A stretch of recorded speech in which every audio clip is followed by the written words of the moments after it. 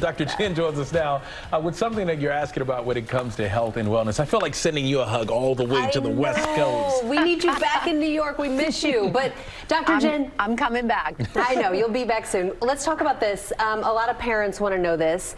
Um, Liz S asks, "How can I safely introduce peanut butter to my child?" And I have to tell you, Dr. Jen, when my older two were babies, the popular thing to do, and this was you know eight years ago, um, was to, and I'm not kidding, parents would drive to a hospital and then give their baby some peanut butter in the parking lot to see if they were allergic.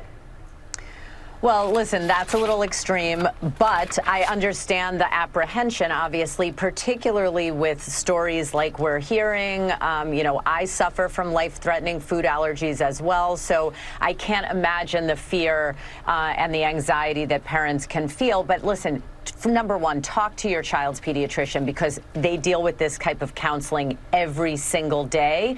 But the American Academy of Pediatrics generally recommends that in a in a baby without eczema, without a history of food allergies, that you can start to introduce things like peanut butter gradually at four to six months of age. You don't want to use a chunky peanut butter. You want to dilute it a little bit with some water just so that it's not a choking hazard, and then give a tiny amount and observe that child for about 15 to 20 minutes. Anything that you see in terms of swelling, hives, itching, if their eyes swell, um, if there's any discoloration, obviously around their mouth, you want to get them to an emergency room. Um, but this can be done safely and effectively, and pediatricians walk parents through this all the time. You guys, there's also data that pregnant women who eat peanut butter may lower the risk of having a fetus or a child with uh, peanut allergy. But again, this is a very real issue. Well, certainly, and the best advice from the doctor there. What's your prescription for wellness?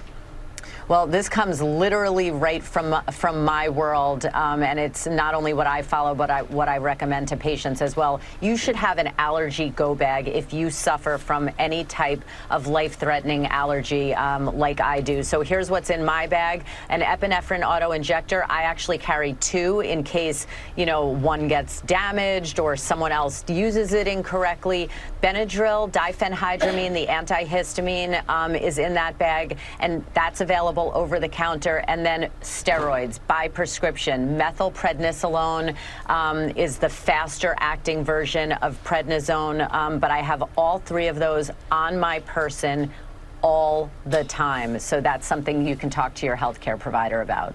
All right, thank you, Dr. Jen. That's the best advice. Bring two just in case one doesn't work One, well. just in case. Yeah, and you can submit your health and wellness questions to us here at ABC GMA 3. Hey there, GMA fans. Robin Roberts here. Thanks for checking out our YouTube channel. Lots of great stuff here. So go on, click the subscribe button right over right over here to get more of awesome videos and content from GMA every day, anytime. We thank you for watching, and we'll see you in the morning on GMA.